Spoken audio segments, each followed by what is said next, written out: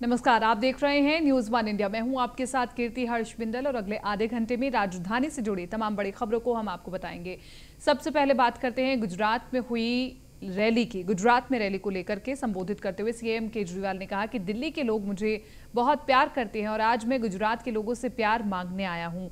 मुझे सुना है, मैंने सुना है कि गुजरात के लोग दिल से काम करते हैं, गुजरात के लोग बहुत इमोशनल होते हैं, गुजरात के लोग अगर एक बार किसी से प्यार करें तो ज़िंदगी भर प्यार निभाते हैं।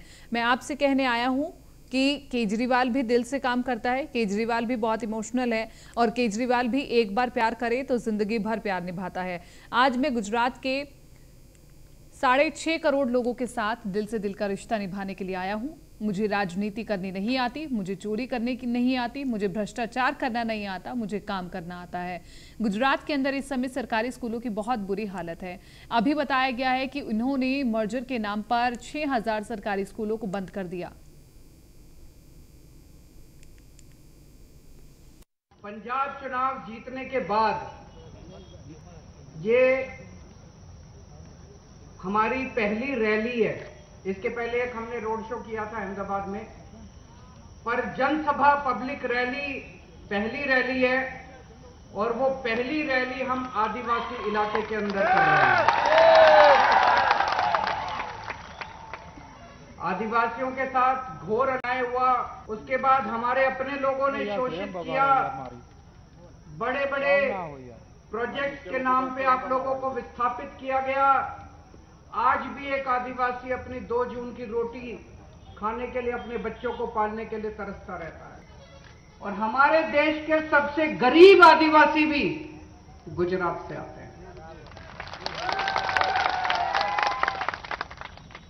दाहोद के अंदर, छोटा उदयपुर अरवली डांग, कितने इलाके ऐसे हैं जहाँ पे बहुत गरीब लोग रहते हैं। मुझे राजनीति करनी नहीं आती। मुझे गंदी पॉलिटिक्स करनी नहीं आती। मुझे चोरी करनी नहीं आती। मुझे भ्रष्टाचार करना नहीं आता। मुझे काम करना आता है। लोकल स्तर पर क्राइम कंट्रोल के लिए जगह चिन्हित करके पर पुलिस पोस्ट बनाए जाते हैं। और इसी कड़ी में आज दिल्ली पुलिस के जोन टू के special commissioner doctor Sagar Preet से हुड्डा ने द्वारका जिला के छावला थाना इलाके में पुलिस पोस्ट का उद्घाटन किया और इस दौरान द्वारका के डीसीपी शंकर चौधरी सहित कई पुलिस अधिकारी सहित काफ़ी संख्या में स्थानीय लोग मौजूद रहे। और इस अवसर पर स्पेशल कमिश्नर ने उन लोगों को भी सम्मानित किया जिन्होंने क्रिमिनल को पकड़ने में बहादुरी से मदद की थी। इस पुलिस पोस्ट के शुरू होने से पुलिस की पहुँच और जल्द आसपास के इलाकों तक होगी। इससे क्राइम पर कंट्रोल करने में भी पुलिस को आसानी होगी। साथ ही साथ स्थानीय लोगों को भी अपनी समस्याओं को लेकर दूर जाने की ज़रूरत नहीं पड़ेगी।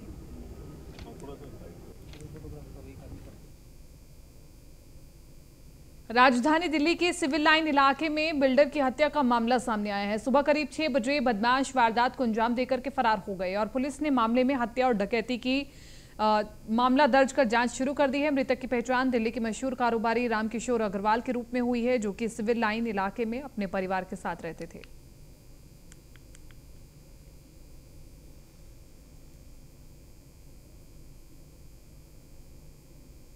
और दिल्ली की बादली में नाबालिग बच्चियों से रेप का मामला सामने आया है, जहाँ आरोपी वारदात को अंजाम देकर के मौके से फरार हो गए हैं। परिजनों ने घटना की सूचना पुलिस को दी है। मौके पर पहुँची पुलिस ने बच्ची को अस्पताल में भर्ती करा, मामले को गंभीरता से लेते हुए आरोपियों की गिरफ्तारी करने के लिए टीम का गठन किया है और महज चौबीस घंटे में एक आरोपी को पकड़ लिया। आपको बता दें कि आरोपी ने पुलिस पर फायरिंग भी कर दी थी, जिसका जवाब देते हुए पुलिस ने आरोपी को गिरफ़्तार कर लिया है। दिनांक उनतीस तारीख शाम सात बजे श्यामपुर बादली पुलिस स्टेशन में एक कॉल रिसीव हुई कि छह माह की बच्ची के साथ में गलत कार्य हुआ है। पुलिस ने इमीडिएट एक्शन लेते हुए कंप्लेंट से संपर्क स्थापित किया। कंप्लेनेंट एक मदर थी, जिसने बताया कि उसकी चौदह साल और एक छह माह की बच्ची के साथ में गलत कार्य हुआ है। दो व्यक्तियों को आइडेंटिफाई किया गया। एक का नाम था चीनू, दूसरे का राजू। दोनों ही मौके से फरार थे। पुलिस ने इमीडिएटली फर्दर एक्शन लेते हुए दोनों की सर्च स्टार्ट कर दी।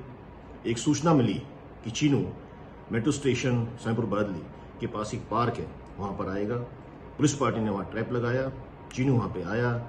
चीनू को सरेंडर करने के लिए कहा गया, लेकिन उसने उल्टा ही पुलिस पार्टी पे फायरिंग कर दी। जवाबी कार्रवाई करते हुए पुलिस को फायर करना पड़ा। एक गोली इसके पाँव में लगी। फाइनली इसको ओवर पावर किया गया, इसकी हालत अब खतरे से बाहर है। आएगी तफ्तीश और जाँच जारी है। पूर्वी दिल्ली के शकरपुर इलाके में विकास मार्ग पर हुए हादसे में दो सगी बहन सहित तीन की दर्दनाक मौत हो गई, जबकि पाँच लोग गंभीर रूप से घायल हो गए हैं। सूचना के बाद मौके पर पहुँची पुलिस ने शव को पोस्टमार्टम के लिए भेज दिया है और घायलों को अस्पताल में दाखिल कराया गया है। पुलिस ने दोनों गाड़ियों को जब्त करके आगे की कार्रवाई शुरू कर दी है। हादसे के बाद परिवार में दुख का पहाड़ फूट पड़ा है।